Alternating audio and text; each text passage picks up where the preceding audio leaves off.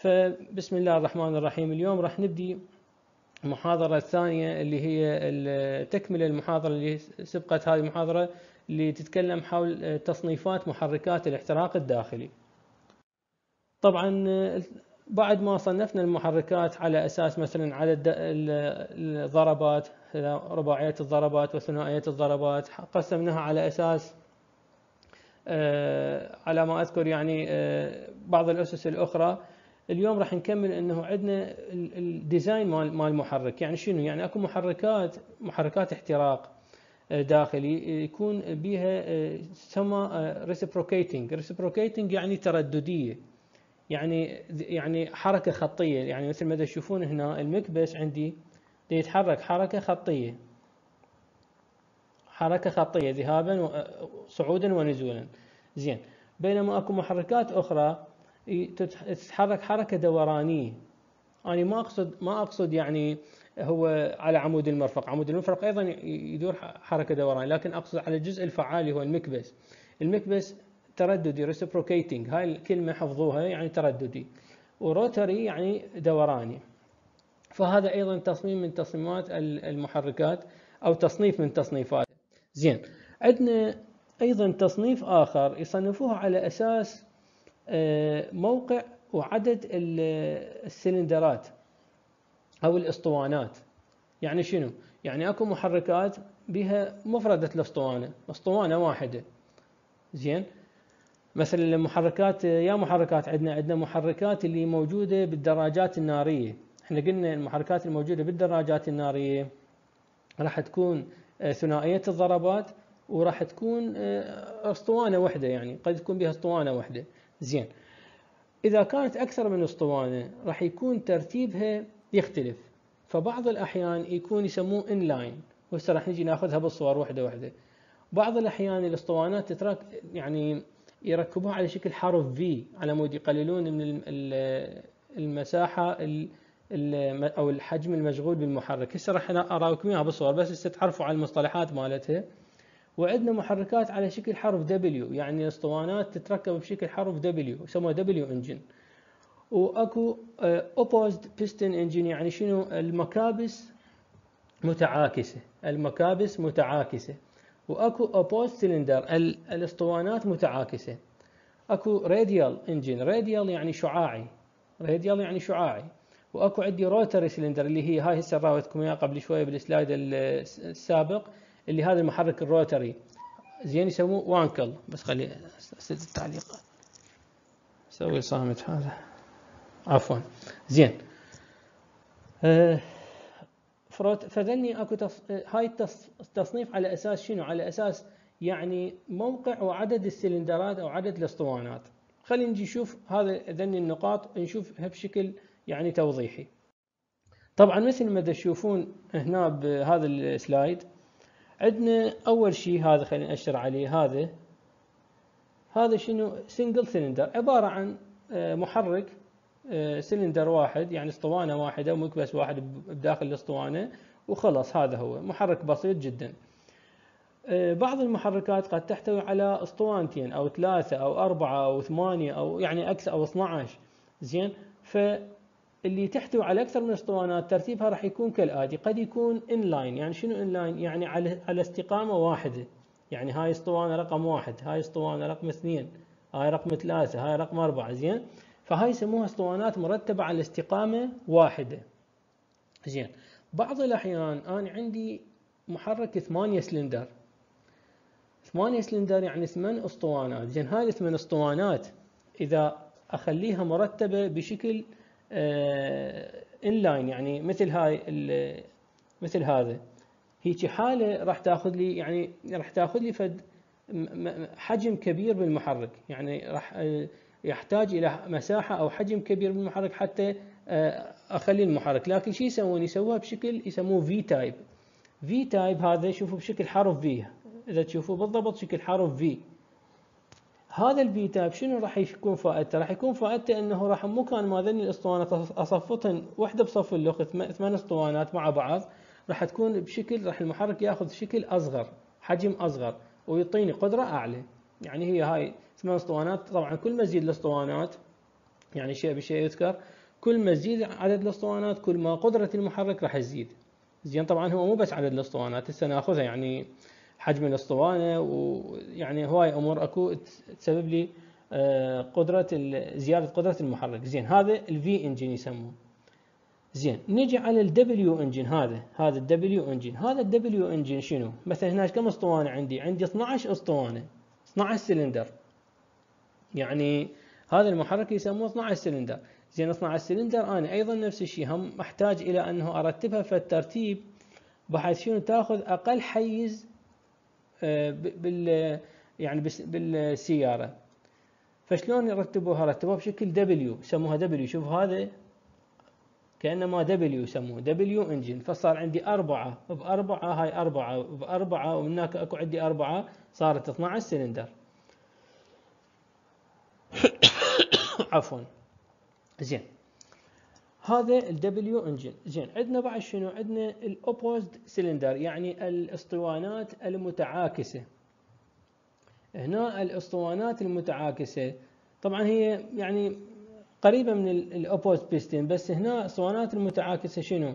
يعني هاي الاسطوانة متجهة بهالاتجاه الاسطوانة مو المكبس أنا هسه أحكي على الاسطوانة. وهاي الاسطوانة يعني آه اتجاهها بهالاتجاه تشوفون شلون فكأنما الاسطوانات opposed يعني شلون آه اتجاهات متخالفة يسموها opposed يعني متخالفة أو متنا يعني متناقضة. زين؟ فوحدة وعكس الثانية الاسطوانات. زين؟ هنا المكابس الجواها opposed piston المكابس واحد بعكس الثاني. طبعا هي الفوق أيضا واحد بعكس الثاني بس ما أعرف شنو السبب اللي يسموها هاي opposed cylinder وهاي opposed piston زين؟ فهنا هاي المكابس يسموها opposed piston يعني شنو؟ المكابس متعاكسة بالاتجاه. زين. طبعا أنا أصور ذني ذني يعني هي يعني شلون وجهين لعملة واحدة. يعني ذني وجهين لعملة واحدة لأنه أنت يعني opposed cylinder أو opposed piston هي بالنتيجة آه، إذا إذا سويت opposed cylinder المكابس راح تتخالف. وإذا سويت ابوز بيستن أيضا هي سلندرات هم راح تتخالف. فالنتيجة واحدة. زين. آخر شيء أو قبل الأخير عندنا فشيء اسمه الراديال. الراديال يعني شعاعي يعني شوفوا مرتبه المكابس بشكل شعاعي. زين؟ يعني آه، هنا كم مكبس عندي؟ واحد أو كم اسطوانة؟ واحد اثنين ثلاثة أربعة تقريبا آه، سبع اسطوانات. فبشكل شعاعي مرتبة. زين.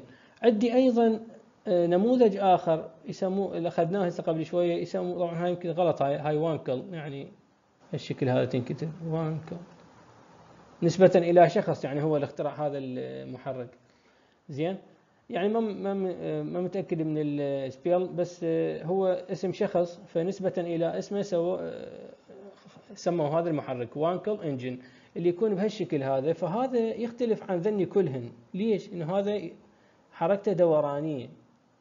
يعني كأنه ما بي مكبس. هاي هي حتكون كانما هاي غرفة الاحتراق. هاي غرفة الاحتراق هيك زين؟ فهذا أيضا نوع آخر أو تصميم آخر من تصنيفات المحرك حسب شنو؟ حسب آه، موقع الأسطوانات سواء كانت بشكل مستقيم أو بشكل V أو بشكل W أو غيرها. عندنا أيضا تصنيف آخر مهم هو تصنيف المحركات على أساس طريقة تغذية الهواء. تغذية الهواء. طبعا إحنا بنقول تغذية الهواء سواء كانت إذا كان عندنا محرك شرارة الهواء لازم شيء يخلوا له بعدين يعني شيء يضيفوا له أثناء مرورة يضيفوا له وقود يعني يخلطون وياه وقود يعني اللي يدخل للأسطوانة هو خليط من الوقود والهواء. فلازم شنو؟ لازم أني أخلط وقود مع الهواء قبل دخول الأسطوانة. هاي شرارة. زين إذا عندي محرك آه، ضغط لا أنا مجرد راح أجيب هواء أدخل الأسطوانة. السؤال مو هنا السؤال وين؟ السؤال إنه هذا الهواء اللي راح أدخله الأسطوانة أو الخليط اللي راح أدخله الأسطوانة شنو طريقة إدخاله إلى الأسطوانة؟ طبعا عندنا أربع أنواع رئيسية. الطريقة الأولى يسموها naturally يعني شنو؟ يعني بشكل طبيعي هاي أول وحدة. يعني بشكل طبيعي يعني هاي المحركات القديمة الموجودة عبارة عن شنو؟ عبارة عن فلتر هواء يسموها الشوتة إذا سامعين بيها. فلتر هواء شوتة. وبعدين آه، عندنا يعني سحب الهواء من الخارج الآلية ما السحب شلون راح تصير؟ عند فتح صمام السحب عند فتح صمام السحب اللي راح آه، المكبس راح ينزل بشوط السحب راح ينزل من النقطة الميتة العليا إلى النقطة الميتة السفلى صحيح؟ يعني هنا هسه إذا أرسمها. هاي أسطوانة يعني بشكل تقريبي وهذا مكبس هذا المكبس دا ينزل. هنا عندي صمام صمام سحب مفتوح وهنا صمام عادم مغلق. فأثناء السحب الشكل الطبيعي دا أحكي راح ينزل المكبس. طبعا هنا هو المكبس من هو صاعد هنا ونزل. زين هاي هاي المنطقة شنو بيها راح يكون؟ راح تكون منطقة فراغ. يعني هو المكبس من راح ينزل راح يترك منطقة فراغ. زين هذا الفراغ راح يترك المكبس. وعندي صمام السحب مفتوح. فراح يصير تخلخل بالضغط. هذا التخلخل بالضغط وعندي خارج يعني أكو عندي ضغط جوي وداخل هنا داخل الأسطوانة عفوا. داخل الأسطوانة عندي تخلخل بالضغط فراح يندفع الهواء. إحنا عادي قلنا أي مائع أخذت وياي مائع أي مائع يتحرك من منطقة الضغط العالي إلى شنو؟ إلى منطقة الضغط المنخفض. زين.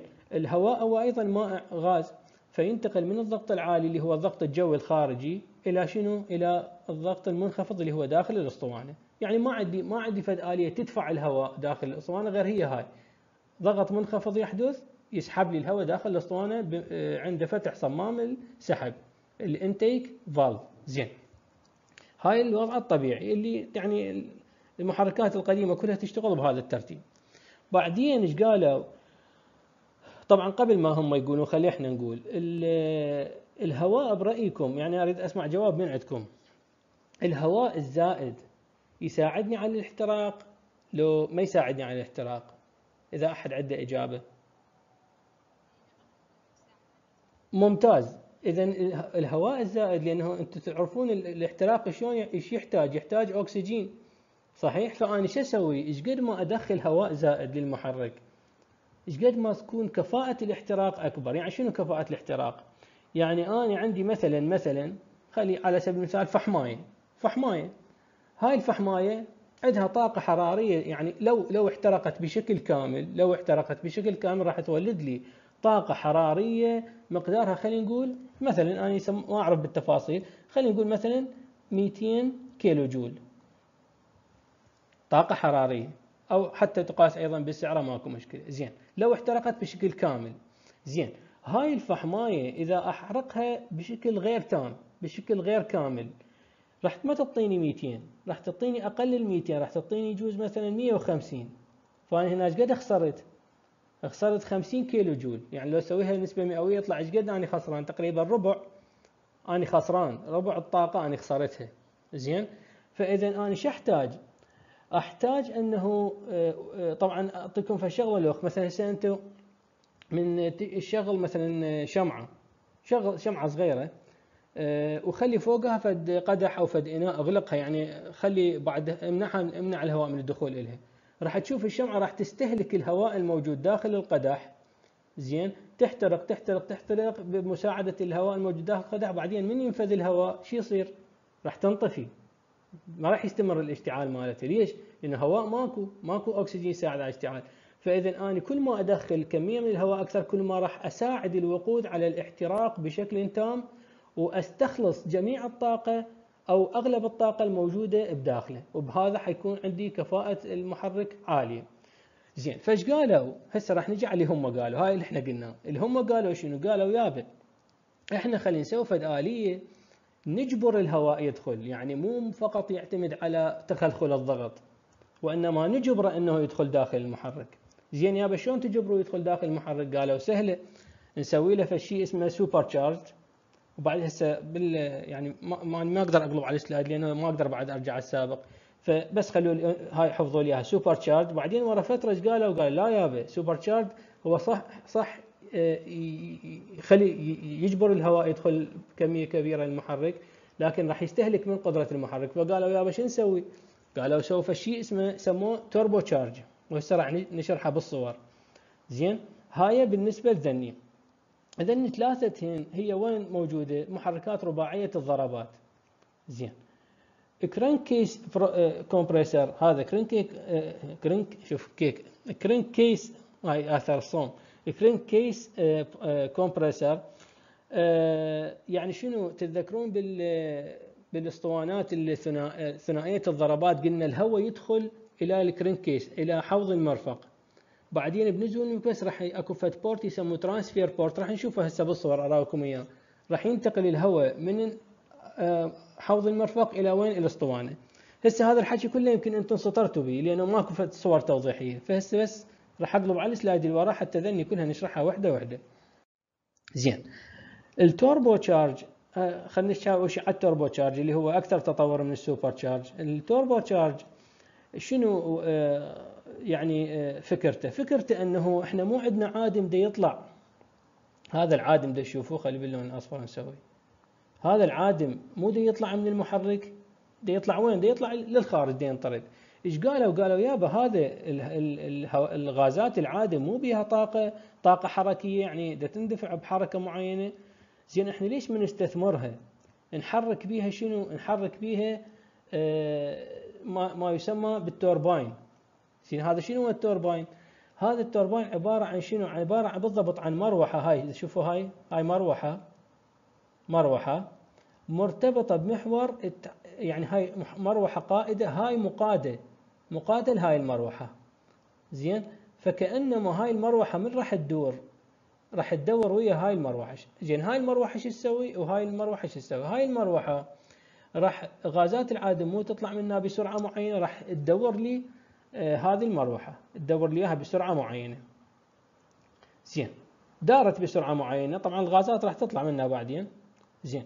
دارت. دورت لي المروحة الثانية اللي هي وين صايرة؟ صايرة عند أنبوب السحب. هاي المروحة الثانية كأنما تسحب لي الهواء من الخارج وتدخله وين؟ خلي هنا أسوي بالأحمر.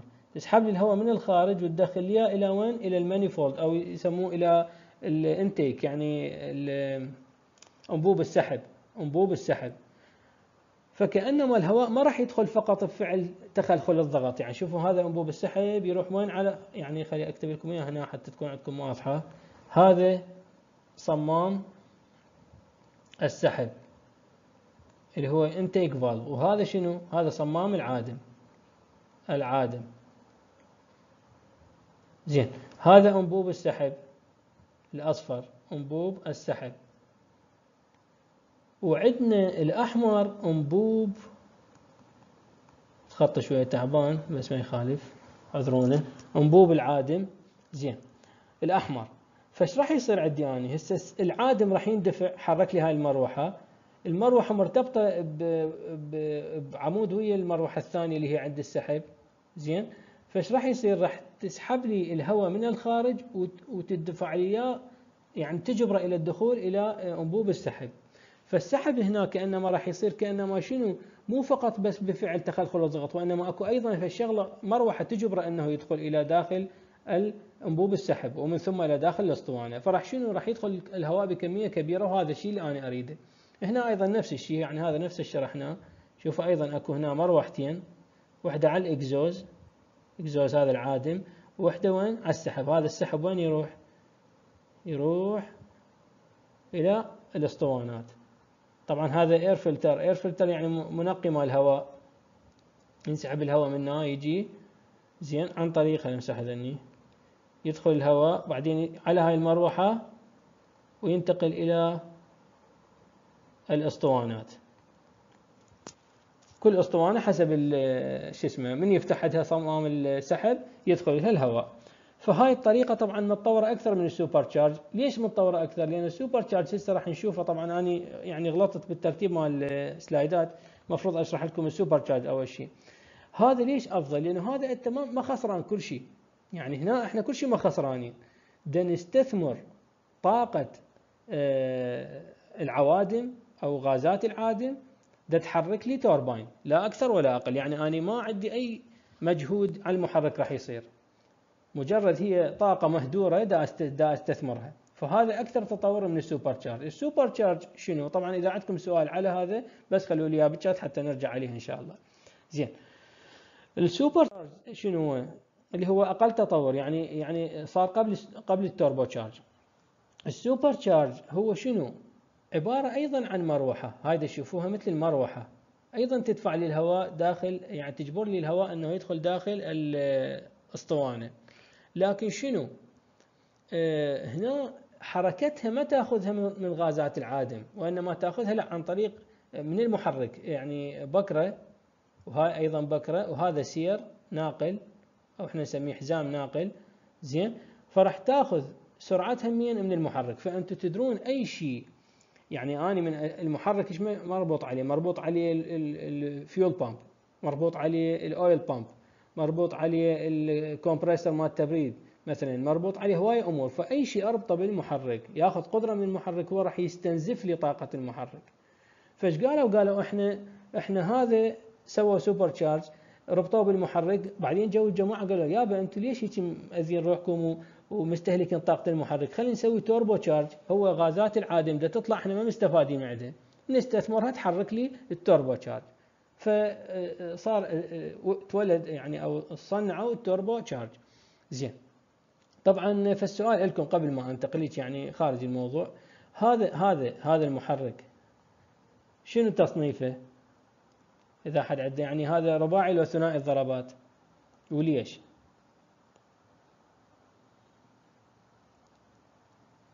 آه عرفتونه؟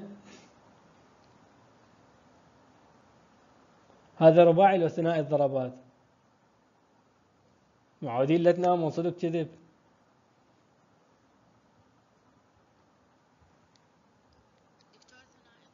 ثنائي الضربات. ليش آه، آه، الميس مو ميس؟ نورة. نورة ليش ليش هذا آه، شو اسمه ثنائي الضربات؟ يعني شلون عرفتي ثنائي الضربات؟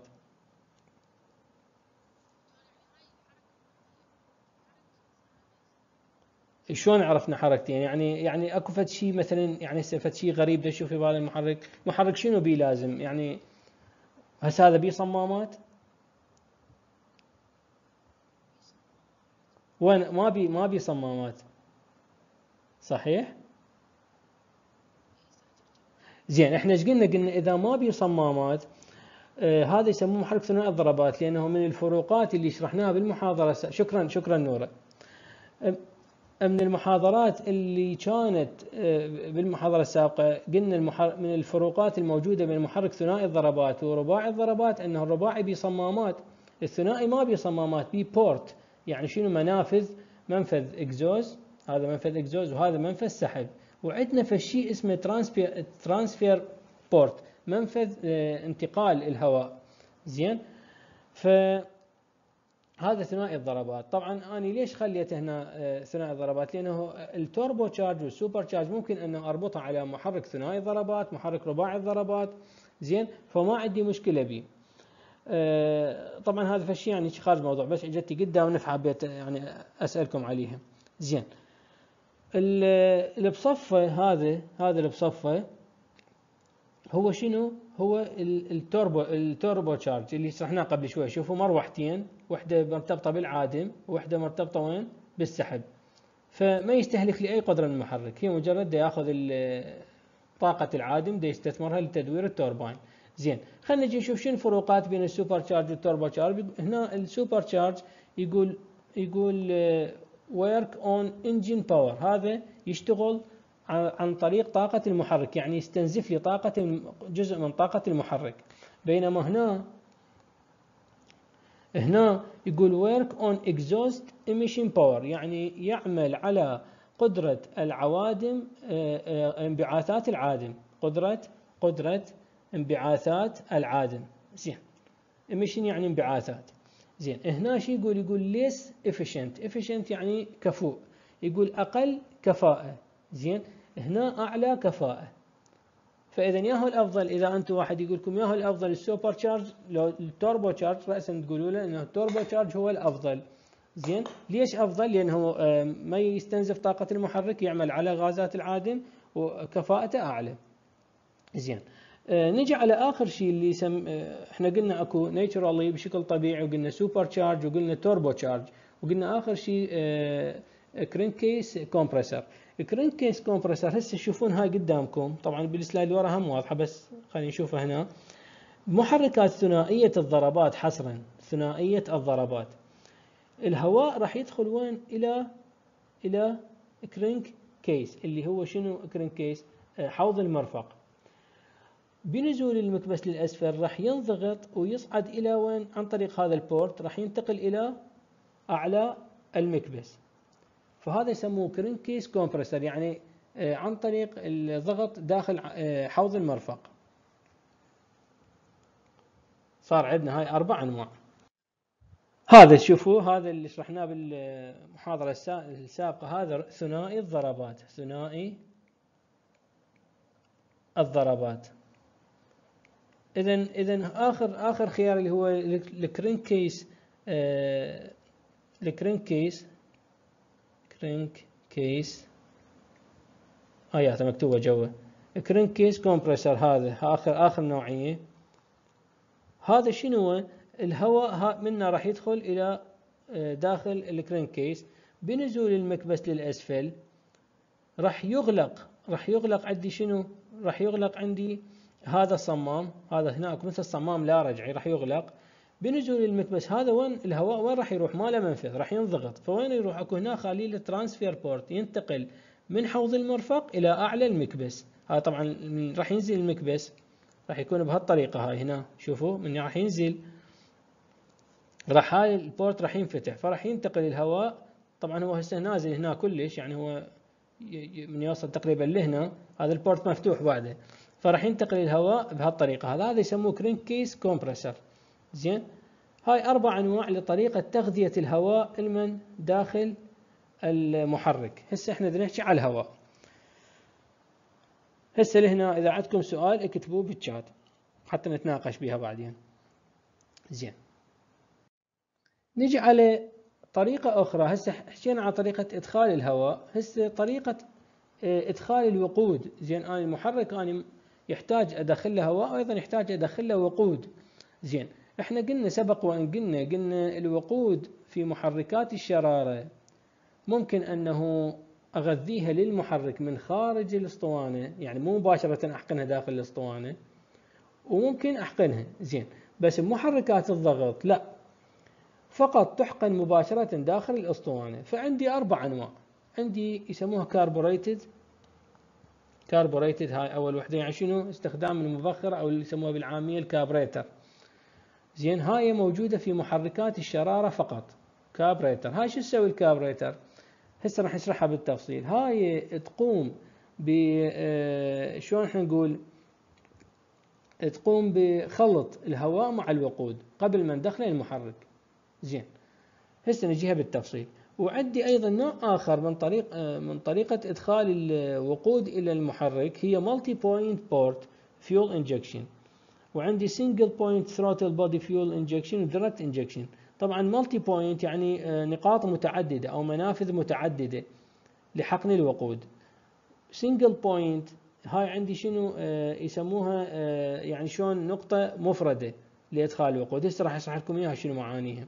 و direct injection اللي هي شنو؟ اللي هي آه، حقن مباشر داخل الأسطوانة مثل محركات الضغط.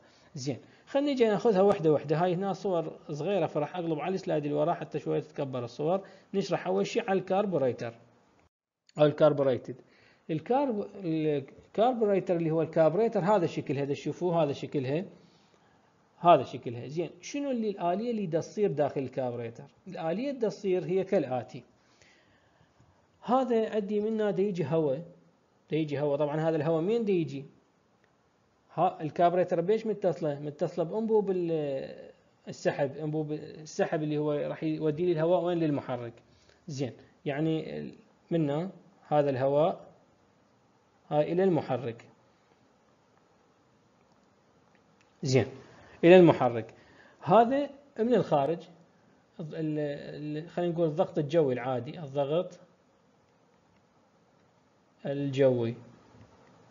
المحيط الخارجي يعني. زين. طبعا أكو عندي منقية مال الهواء وغيرها هاي منتهي من عندها. زين. اللي هي هاي شوف air air cleaner زين. بعدين شنو عندي؟ عندي الهواء راح يمر. هنا أكو تضييق يسموه فنتشوري تضييق. طبعا إحنا آه، درسنا بالموائع أنه إذا عندنا انبوب يضيق مقطع العرضي إيش راح يصير بسرعة بسرعة المائع؟ راح تزيد. مو صحيح؟ وإذا زاد المقطع العرضي راح شنو؟ تقل سرعة المائع. ليش؟ حسب معادلة الاستمرارية. مو قلنا الكيو تساوي الاي في الاتش سيقولون ما خلصنا من الموائع ال A في ال V العفو. ال A هي مساحة المقطع العرضي. مساحة المقطع. زين وهنا شنو عندنا؟ عندنا سرعة المائع وهذا التصريف. إيش قلنا إحنا؟ قلنا التصريف ثابت. يعني يعني قيمة ثابتة. فايش قلنا؟ قلنا إحنا مساحة المقطع إذا صغرت السرعة لازم تزيد. يعني تناسب كانما عكسي واحدة عكس الثانية. وإذا قلت ذيك بالعكس تزيد. فهنا مساحة المقطع قلت. زين من قلت السرعة إيش راح يصير بيها؟ راح تزيد. هنا السرعة راح تزداد. تزداد السرعة. زين نرجع مرة أخرى. معادلة برنولي شو تقول؟ معادلة برنولي. معادلة برنولي تقول أنه السائل من يجري به عدة طاقات. طاقة حركية تتمثل بسرعة بالسرعة وطاقة ضغط وطاقة ارتفاع. زين. هنا إحنا نحكي عن هواء. فطاقة الارتفاع تقريبا يعني آه، نقدر نهملها لأنه الهواء هو أصلا خفيف وارتفاع قليل. زين. فيبقى عندنا شنو؟ طاقة الضغط وطاقة الارتفاع. زين. هنا آه، عفوا طاقة الضغط وطاقة الطاقة الحركية يعني السرعة. فهنا السرعة إذا زادت الضغط إيش راح يصير به؟ حسب معادلة برنولي الضغط راح شو يصير به؟ تتذكرون لو لا؟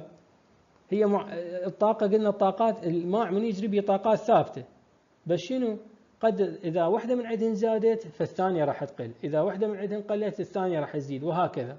زين هنا السرعة زادت، الضغط إيش راح يصير بهاي المنطقة؟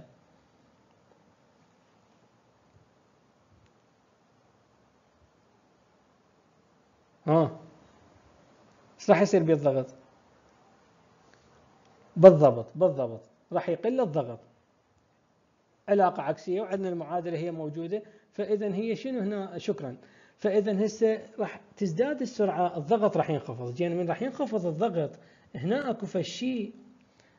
هيك مثل الفتحة. طبعا هذا حوض مال وقود. هذا حوض مال وقود من يجي الوقود. هاي الفتحة من هنا راح ينخفض الضغط.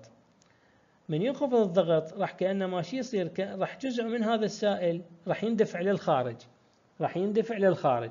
لأنه صار تخلخل عنده هنا بالضغط هنا ضغط عادي ضغط الجوي زين؟ وهنا ضغط منخفض فراح يندفع للخارج بهالشكل هذا.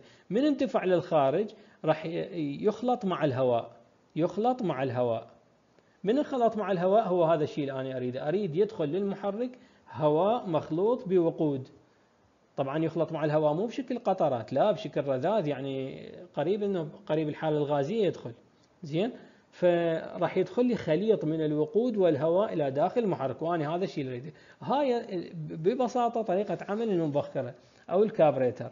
زين؟ من راح يدخل المحرك طبعا راح كل أسطوانة حسب إيش وقت الشوط السحب مالته ينفتح صمام السحب راح يدخل الخليط وتنبثق بعدين الشرارة في شوط نهاية شوط الضغط. ويصير شوط القدره زين؟ فهنا بهالحالة هاي يسموها الكاربوريتر اللي هو شنو؟ اللي هو هاي طريقة عملها. ما عندي فد شيء بيها. هاي تستخدم فقط في محركات الشرارة.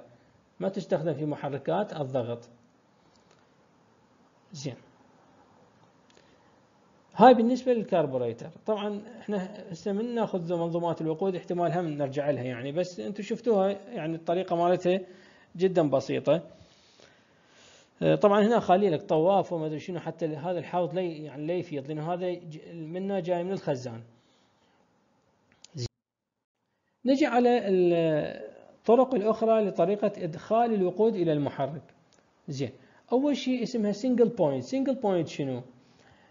الوقود قاموا شو يسوون؟ قاموا ما يخلون كابريتر وإنما شو يسوون؟ الوقود يقول لك هو الهواء مو راح يجي من داخل المحرك انفتح صمام السحب اجى خلينا نقول هنا صمام السحب مفتوح راح يجي الهواء هنا. طبعا هو الهواء ما راح يجي يتوزع كله بنفس الوقت. ليش؟ لأنه إحنا يجوز هاي عندها صمام سحب هاي عندها ضغط هاي قدرة هاي عادم وهكذا. آه، فإحنا شنو؟ ترتيب الأسطوانات واحد ثلاثة واحد ثلاثة اثنين أربعة. يعني هاي أول شيء يصير بعدين هاي يصير بعدين هاي يصير هيك يعني.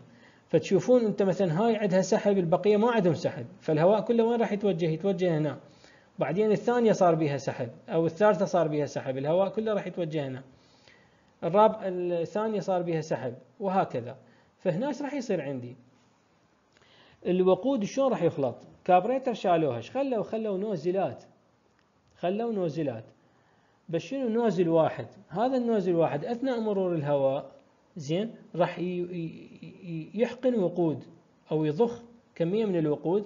هذا الضخ مال الوقود بشكل رذاذ طبعا راح يختلط ويا الهواء وراح يذهب للأسطوانة المطلوب بها شوط سحب. زين فهنا يسموها single point يعني عندي يعني صمام واحد العفو آه، nozzle واحد راح يعني يبثق لي وقود أو يطلق لي وقود أثناء مرور الهواء. راح يخلط لي الهواء مع الوقود. هذا يسموها single point زين. عندي أيضا multi point يعني شنو؟ يعني يخلون بكل manifold هذا يسموه manifold يعني أنبوب سحب أو أنبوب عادم أيضا بس هذا على السحب. بكل واحد يخلون صمام. شوف هنا هنا خالين صمام. آه، عفوا مو صمام آسف. injector آه، أو nozzle هنا خالي nozzle هنا خالي nozzle فكل أسطوانة لها nozzle ها الخاص يسموها multi point multi يعني متعدد. single يعني مفرد. زين. هذا multi point يعني شنو؟ أكثر من nozzle عندي أيضا هاي اتحكم طبعا هاي الخانق أتحكم بكمية الهواء الداخلة. زين؟ وذني صمامات في كل شوط سحب يشتغل الصمام يبثق لي وقود. بس شنو؟ هاي لحد الآن كله خارج الأسطوانة. هذا الشغل كله ال injector ات أو ال nozzle ات هاي كلها خارج الأسطوانة. ما تبثق لي شيء داخل الأسطوانة؟ يعني يخلط الوقود مع الهواء خارج الاسطوانه ويدخل بعدين آه، عند فتح صمام السحب. زين. direct injection هذا الأخير. لا هذا يبثق لي داخل الأسطوانة. يعني أني هاي آه، بمحركات الضغط راح يدخل فقط هواء. يعني منه ما عندي فد فد شيء يخلط لي هواء ووقود فقط هواء. الوقود يخلق يضخ مباشرة. direct injection يعني حقن مباشر داخل الأسطوانة. حقن الوقود داخل الأسطوانة. فتشوفون أكو آليات متعددة للمحركات. قسم من عندها عن طريق كابريتر قسم من عندها عن طريق nozzle واحد اللي هي هاي. nozzle واحد يبثق وقود آه، خلال مرور الهواء راح يختلط الوقود مع الهواء ويدخل للأسطوانة. أكو محركات لا يخلون مثلا النوزل آه، لكل أسطوانة يخلون نوزل. أكو محركات يخلون نوزل في يعني يبصق داخل الأسطوانة. وهكذا. هاي يعني كل شركة وتصميمها طبعا كل شركة لها شلون نقول تبريراتها لاستخدام آه، لاستخدام هذا النوع أو ذاك النوع. طبعا في بعض الأحيان تشوفون الاختلاف بين الشركات شلون يصير. يصير مرات آه، إما يستخدم مثلا شغلة قد تكون كفوءه أكثر بس ما شركة ما ما تستخدمها. ليش يقول لك مثلا هاي مكلفة أو عطلاتها هواية؟ فيضطرون يستخدمون شغلة مثلا كفاءتها جزء أقل لكن عطلاتها أقل. فشركة أخرى لا تقول لك أنا أستخدم شغلة مثلا كفاءتها أعلى. وهكذا فتشوفون أكو فد اختلاف بين التصاميم واختلافات كثيرة بين الشركات المصنعة وما شابه. زين. بالنسبة إلى هسه خلصنا طريقة إدخال الهواء طريقة إدخال الوقود.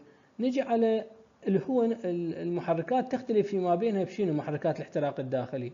تختلف على أساس الوقود المستخدم. يعني بعض المحركات قد تستخدم غازولين. غازولين اللي هو هو نفس البنزين يعني. زين؟ أو يسموه البترول. زين. الدي بعض المحركات مثلا تشوفون سيارات الحمل الكيات المحركات الثقيلة يستخدمون ديزل.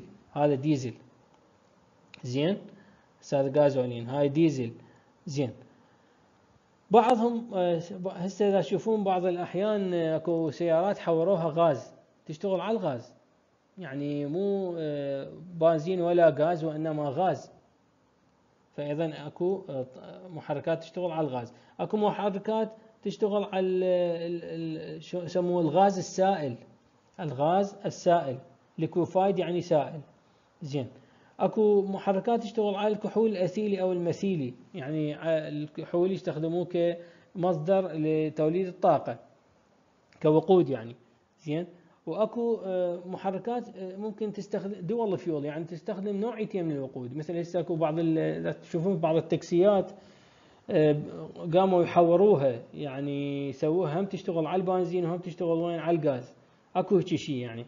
تصير ممكن تشتغل بنزين ممكن تشتغل غاز. مو غاز العفو آسف غاز يعني غاز. زين هذا هذا النوعية. هذا مع مع البنزين. فأكو أنواع مختلفة. زين. أيضا تختلف محركات الاحتراق الداخلي بال application التطبيقات مالتها. application يعني تطبيقات. تطبيقاتها شنو؟ يعني أكو محركات تستخدم بالسيارات. أكو محركات تستخدم مثلا آه، بالسيارات بالشاحنات بالباصات. أكو محركات تستخدم بالقاطرات. طبعا ذيك المحركات مال القاطرات راح تختلف من حيث الحجم من من حيث القدرة. زين؟ أكو محركات تستخدم آه، ثابتة مثلا محركات مال آه، المولدات الكهربائية هاي الضخمة. أيضا محركات احتراق داخلي لكن محركات ضخمة. تفترق يعني تفرق عن محرك السيارة هذا البسيط الصغير مثلا أو محرك الساحبة. زين؟ عندنا محركات تستخدم مارين بالمارين اللي هو يسموها بالسفن وبالشغلات هاي البحرية وغيرها محركات تستخدم بالطائرات أيضا تختلف. هي كلها محركات احتراق داخلي. لكن محرك يعني كل يعني أنا من أريد أستخدم محرك بتطبيق معين طبعا قدرته راح تختلف. يعني محرك لي اللي يحرك لي طائرة مو مثل المحرك اللي يحرك لي مثلا سيارة صغيرة أو بسيطة صحيح؟ فراح هنا يصنفوه على أساس الاستخدام. على أساس الاستخدام application يعني استخدام. automobiles هاي يعني سيارات truck شاحنات باص يعني باصات locomotive يعني آه، قاطرات stationary يعني محركات ثابتة مثل قلنا المولدات وغيرها. زين marine اللي هي الأمور البحرية مثل السفن والبواخر وغيرها. وال aircraft اللي هي الطائرات aircraft اللي هي الطائرات. زين تقسيم آخر أيضا من تقسيمات المحرك هو طريقة تبريد المحرك. إحنا قلنا سابقا قلنا المحرك من يشتغل راح يسخن. طبعا المعادن المكونة من هالمحرك مهما بلغت آه، يعني طاقة آه، مهما بلغ تحملها الحرارة فهي أيضا ما راح تتحمل آه، حرارة المحرك العالية. ولذلك سامعين أنتم في بعض الأحيان يقول لك المحرك لطش بالعامية يقول له لطش. شنو يعني لطش؟ يعني المحرك صعدت ارتفعت درجة حرارته فكأنما الأجزاء الثابتة والمتحركة انصهرت مع بعض والتحمت المعدن من ينصهر وبعدين يبرد راح يلحم. زين؟ ولهذا أنت شو يقول لك السيارة من تحمى؟ السيارة من تحمى. يقول لك لا تطفيها بردها يلا تطفيها ليش؟ لأنه من تحمى السيارة قول خلينا نقول خلينا فرضا نقول صار انصهار. زين أنت من طفيتها راح تبرد. هذا المعدن راح يلحم مثلا معدن الأسطوانة على معدن المكبس فراح تجي الشغل بعد ما تشتغل لطش المحرك بعد هذا هو. زين؟ ولهذا إحنا شو نسوي؟ نبرد المحرك. فدائما تبريد المحرك مطلوب. زين؟ قلنا إحنا تبريد المحرك إيش راح يسوي لنا؟ راح يهدر لي جزء من الطاقه الناتجة داخل المحرك. لكن شنو؟ لكن شر لا بد منه. يعني شنو؟ لازم إحنا نبرد المحرك. زين؟ من نبرد المحرك شنو طريقة تبريد المحرك؟ عندنا طريقتين. أما تبريد هوائي وأما تبريد مائي. زين. التبريد الهوائي شنو؟ التبريد الهوائي يستخدمون المحركات الصغيرة عادة مثل محرك الدراجات النارية إذا تشوفوه تركزون.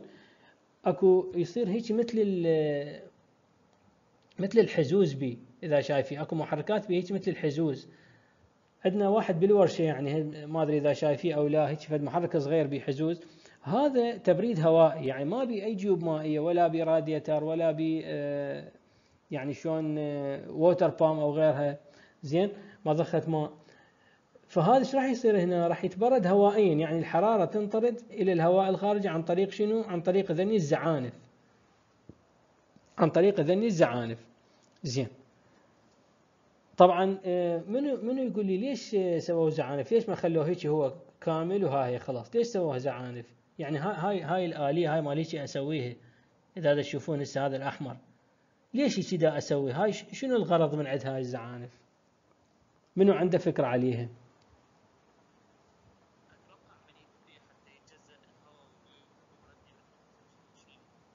يعني يعني تقريبا بس بس شنو بعد؟ هو هو اني أريد أسأل يعني هاي هاي العملية هاي من أسوي ذني الزعانف أسويها هذا إيش راح يصير عندي؟ هاي تشوفون السبب الأحمر راح يدخل الهواء صحيح لكن أكو فد نقطة كلش مهمة. المساحة السطحية راح تكبر.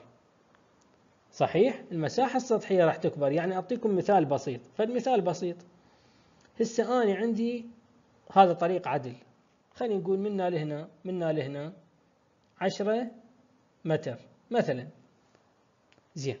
طبعا شكرا إجاباتكم. يمكن محمد محمد عبد الحسن وميس إذا أنا ما مشتبه بالأسماء. الله يحفظكم. زين فهنا عشرة متر.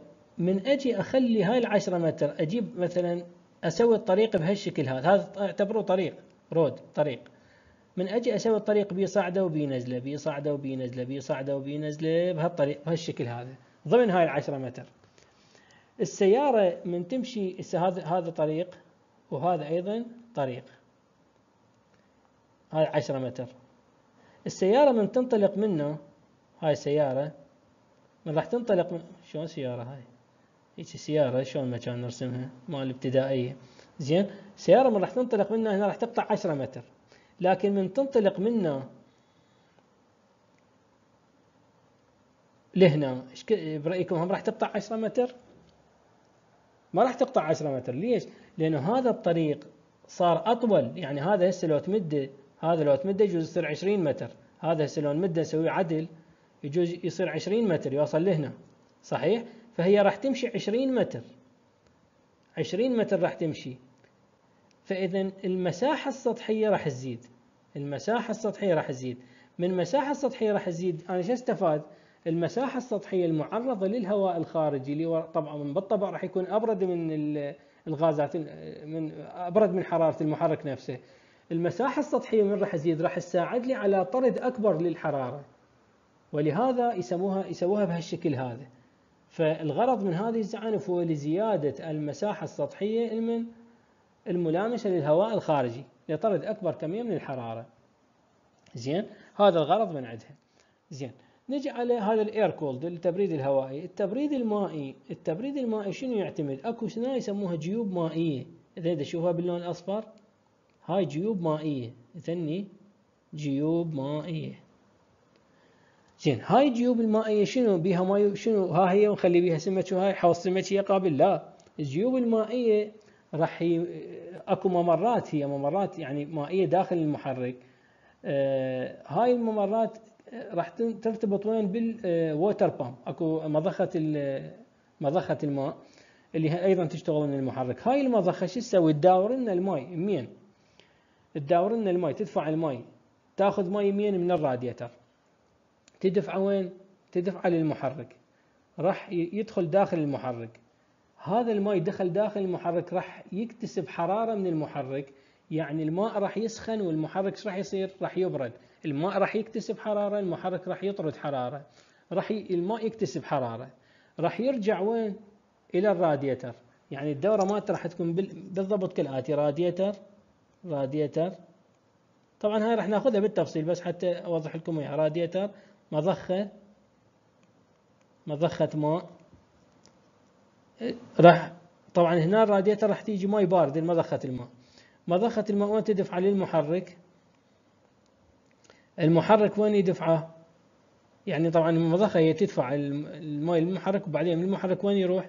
للراديتر يرجع مرة أخرى. يعني مثل الدورة تصير كاملة. زين.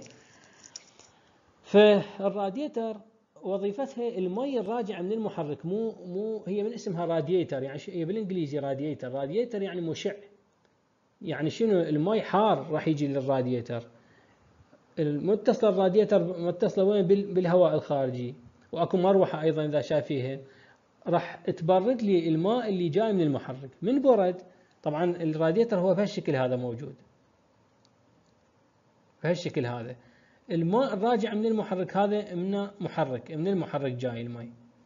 هذا إلى المحرك رايح إلى المضخة والمحرك بعدين. ماء حار هنا يجي ماء حار. الماء الحار راح يجي ينزل اكو مثل مثل الفتحات يجي آه، آه، ممرات راح يتأخر هنا بال radiator ال radiator شنو وظيفته تاخر الماء. ليش يتأخر؟ حتى يبرد ياخذ وقته على مود يبرد. فالماء الحار راح ينزل بطء واكو مروحة تضرب عليه فراح يبرد. من راح يبرد؟ راح يتوجه وين؟ للمضخة والمضخة تودي أيضا إلى المحرك. فهاي الدورة يسموها تبريد مائي liquid cooled زين؟ آه عن طريق وجود راديتر ووجود مضخة ماء وجيوب أو ممرات مائية داخل المحرك. فالآلية كالآتي مضخة ماء تدفع ماء إلى المحرك هاي قلناها. بالمحرك راح يسخن الماء يكتسب حرارة من المحرك المحرك راح يبرد. راح يندفع الماء مرة أخرى وين؟ للراديتر الراديتر راح يجي يبرد قلنا يبرد الماء ينزل الماء ببطء راح يبرد الماء ويندفع مرة أخرى إلى المضخة وهكذا تستمر هذه العملية. هذا بالنسبة للتبريد المائي. إذا طريقة التبريد type of cooling هو أيضا فد أساس من أسس تصنيف المحركات. عندنا آخر شيء هاي ما راح أتعمق به لأن راح ناخذها بالتفصيل بعدين. عندنا of operation. آه، دورة التشغيل. دورة التشغيل هاي أوتو نسبة إلى عالم أوتو Otto cycle سموها دورة أوتو. هاي نسبة للعالم المخترعها Diesel cycle أيضا نسبة للعالم المخترعها بس ما أتذكر اسمها يعني أسمائهم الكاملة. زين. و dual cycle اللي هي دورة آه، دورة مزدوجة. طبعا آه، كل واحدة من ذني هاي بها دورة ثرموديناميكية راح ناخذها بالتفصيل يعني إن شاء الله. بس هاي المخططات مالتها. أنا هسه هسه بهالوقت الحاضر أريدكم بس تعرفون إنه أكو شيء اسمه Otto cycle أكو شيء اسمه Diesel cycle واكو شيء اسمه dual cycle لأن ذني شرحها راح يطول. يعني ربما كل واحدة من عندهم راح ناخذ لها محاضرة كاملة. زين؟ فما أقدر أشرحها هسه الآن بهذه العجالة. لكن بس أبين لكم إنه هذه المخططات هي علاقة الضغط والحجم يسموه P-V P-V chart P-V chart علاقة الحجم مع الضغط. أنتم هم حاولوا تفكرون بها يعني اذا تريدون يعني تتاملون بها. هذا هنا TDC النقطه الميتة العليا. وهاي النقطة الميتة السفلى زين؟ وهذا يعني شلون الحجم من يتحرك المكبس من النقطة الميتة السفلى العليا إلى السفلى راح يزداد الحجم. شوط السحب بعدين هذا شوط الضغط بعدين هذا الاشتعال بعدين هذا القدرة راح ينزل المكبس بعدين هنا العادم. فيعني هاي الطريقة مالته وهذا أيضا نفس الشيء. راح نشرحها إن شاء الله بالتفصيل. حتى لا أطول عليكم صار تقريبا حتصير ساعة. أنا ما بدي أخذكم أكثر من ساعة آخر slide. أتصور هو هذا آخر slide. أي تصنيف المحركات على أساس عدد الأسطوانات. إحنا مو قلنا قبل شوية قلنا المحركات قد تكون يعني ترتيب الأسطوانات يكون بشكل خط مستقيم بشكل حرف V حرف W طبعا هاي شكل الاسطوانات ترتيب الأسطوانات لكن عدد الأسطوانات هو هذا. أكو محركات بها أسطوانة واحدة أكو محركات بها أسطوانتين. ثلاث أسطوانات أربعة ستة ثمانية 12 كل ما تزيد عدد الاسطوانات راح يزيد القدرة اللي أقدر أحصلها من الماكينة من الماكينة أو الماكينة. طبعا شوفون سيارات السباق راح تكون قسم عندها 16 سلندر 12 سلندر. طبعا أني من راح أحصل قدرة أعلى مو معناتها يعني أني طبعا يعني أكو سيارات مثلا 12 سلندر. زين هي صح بتعطيني قدرة عالية لكن استهلاك وقود أيضا عالي راح يكون بها يعني المحرك الاسطوانة أو عفوا المحرك أبو الاسطوانة الواحدة ما يستهلك لي وقود بقد المحرك أبو ال 12 اسطوانة.